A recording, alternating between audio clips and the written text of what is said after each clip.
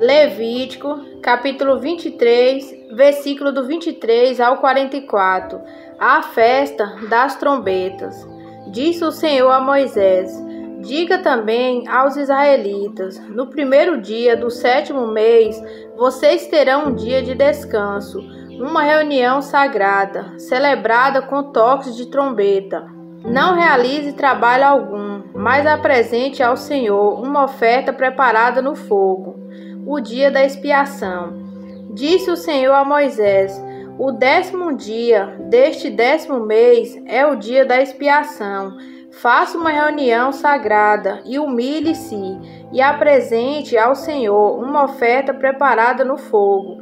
Não realize trabalho algum nesse dia, porque é o dia da expiação, quando se faz propiciação por vocês perante o Senhor, o Deus de vocês. Quem não se humilhar nesse dia será eliminado do seu povo. Eu destruirei do meio do seu povo todo aquele que realizar algum trabalho nesse dia.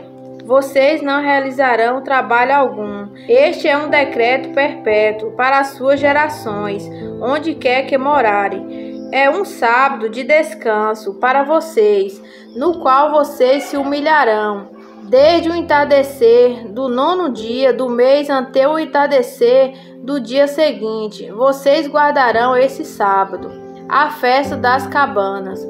Disse o Senhor a Moisés: Diga ainda aos israelitas: No décimo quinto dia desse sétimo mês começa a festa das cabanas do Senhor, que dura sete dias. No primeiro dia haverá reunião sagrada. Não realize trabalho algum Durante sete dias, apresente ao Senhor ofertas preparadas no fogo. No oitavo dia, faça outra reunião sagrada e também apresente ao Senhor uma oferta preparada no fogo. É reunião solene, não realize trabalho algum. Estas são as festas fixas do Senhor, que vocês proclamarão como reunião sagrada, para trazerem ao Senhor ofertas preparadas no fogo holocaustos e ofertas de cereal, sacrifícios e ofertas derramadas, exigida para cada dia.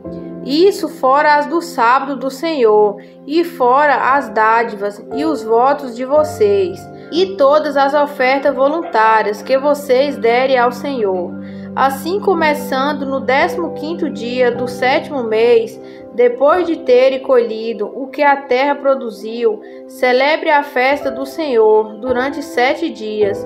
O primeiro dia é também o oitavo, será um dia de descanso.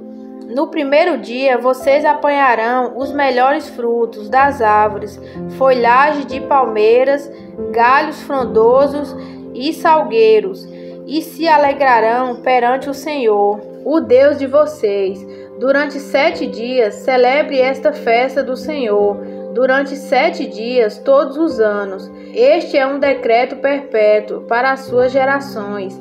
Celebre-na no sétimo mês. More em tendas durante sete dias. Todos os israelitas de nascimento morarão em tendas, para que os descendentes de vocês saibam que eu fiz os israelitas morarem em tendas quando os tirei da terra do Egito. Eu sou o Senhor, o Deus de vocês. Assim anunciou Moisés aos israelitas as festas fixas do Senhor.